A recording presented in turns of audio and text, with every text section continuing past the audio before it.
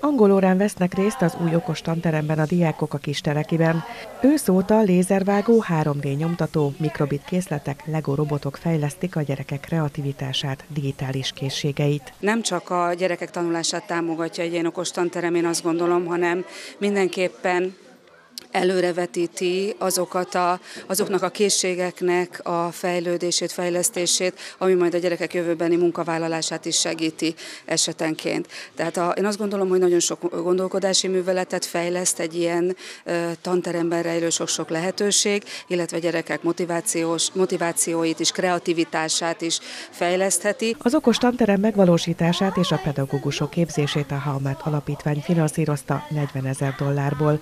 Ez a második iskola, amelynek okos tanterme a Halmet köfémnek köszönhetően lehet a diákok digitális oktatásának színtere. Hiszünk abban, hogy a mai fiatalságot már a hagyományos tanítási módszerekkel nem lehet megfogni. Tehát úgy, ahogy engem tanítottak, az, ezt az ifjúságot gyakorló apaként mondom, 13 éves fiam van, gyakorló apaként mondom, hogy már nem lehet megfogni, és szerintem az okos tanterem, illetve az okos tanteremre fejlesztett tananyagok azok, amivel igazából ezeket a fiatalokat eh, be lehet vonni. És hát ebben szeretnénk segíteni eh, a közoktatási intézményeket. Az okos tanteremben bármilyen tanórát meg tudnak tartani a pedagógusok, akár matematika, történelem, nyelv, énekzene vagy informatika órán is tanulhatnak az okos eszközök segítségével a diákok. Ez lehetőség ö, tanárnak, ö, pedagógusnak és a diákoknak, fiataloknak egyaránt.